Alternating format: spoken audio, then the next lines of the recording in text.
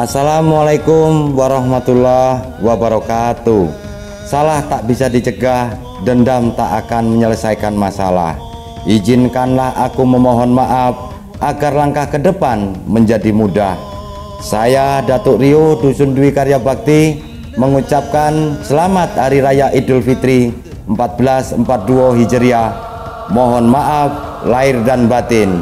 Assalamualaikum warahmatullahi wabarakatuh.